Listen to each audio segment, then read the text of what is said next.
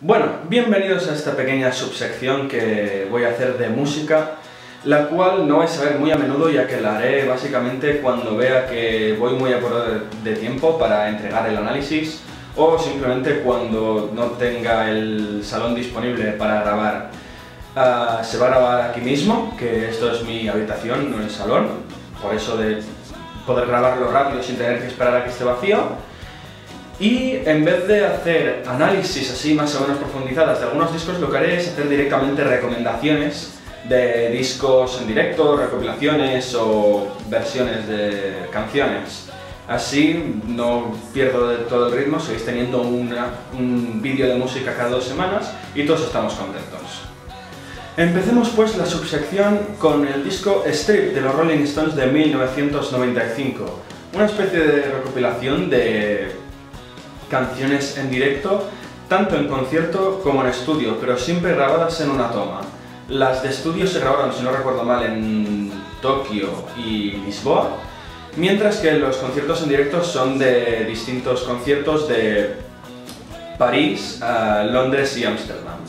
Lo que tienen de especial estas canciones es que son todas con un toque muy acústico. Tienen, en vez de tener guitarras eléctricas, tienen eh, guitarras acústicas, el bajo sigue eléctrico, pero...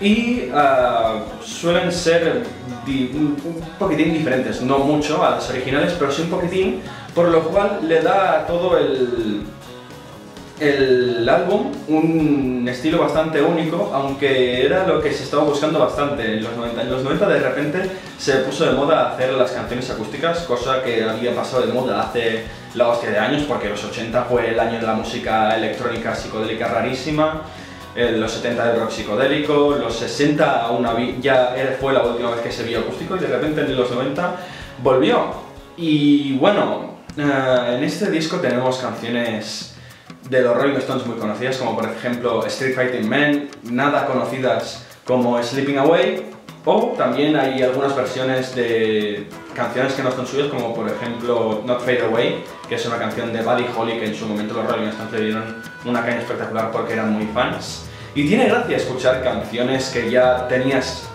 digamos, interiorizadas de una forma y de repente escucharlas con una versión muy diferente y encima con esas guitarras acústicas.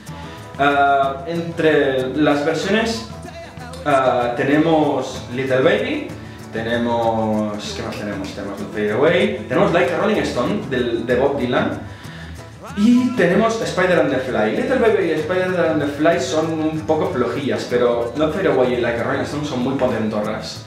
Y luego tenemos canciones de los Rolling Stones variadas en estudio, en directo y la verdad es que el disco entero creo que vale la pena, hay canciones más fuertes y más flojas, pero todas valen la pena escucharlas al menos una vez y escucharlas y darte, y darte mm, darles una oportunidad para ver cómo son. Y si os tengo que recomendar dos canciones para, para escucharlas y ponerlas en bucle y no cansaros en vuestra puta vida, son uh, Sleeping Away y Love in Vain, estas dos en este disco suenan de putísima madre, pero lo que seguro que no os vais a cansar nunca, nunca jamás, son las versiones de Wild, las versiones de Wild Horses y de la Carrone Stone, de Bob, Dylan. Con esas dos, esas dos canciones son tan jodidamente acojonantes. Wild Horses eh, es en estudio y básicamente eh, tenemos a Keith Richards con una guitarra de 12 cuerdas acústica tocada de forma totalmente impecable, o sea, la canción a mí con los primeros tres toques de guitarra de Kid ya me tiene ganado, toques, ¿eh? No cordes, no, toques.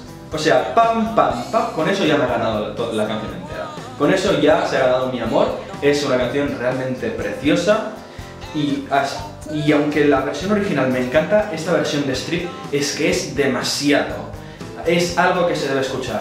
Y luego tenemos Like a Rolling Stone, la canción famosísima de Bob Dylan, tocada en directo y lo que hace que sea tan espectacular es que a pesar de cuando empiezas a escuchar, antes de que Mick Jagger empiece a cantar, tú ya sabes que eso es Like a Rolling Stone porque lo oyes y dices, hostia, esto es Like a Rolling Stone.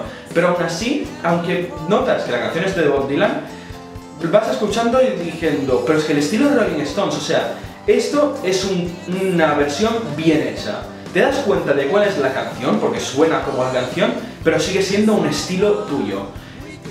Versiones de canciones de Bob Dylan hay tropocientos mil, pero esas canciones, hasta que no escuchas la letra y la pillas, o hay veces que ni la letra, cuando ves el título, te das, es, ahí cuando te das cuenta de que la canción es de Bob Dylan, pero aquí te das cuenta desde el minuto cero, con la música, luego con la forma de cantar, es todo Bob Dylan pero a la vez Rolling Stone y eso es lo que le hace realmente especial.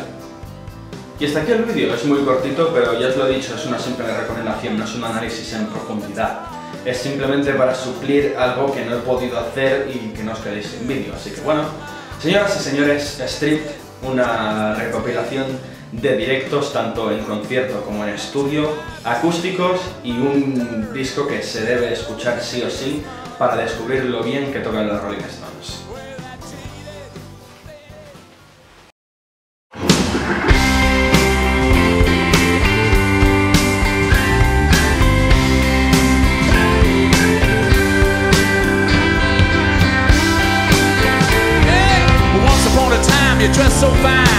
Through the bumps of dime and you climb.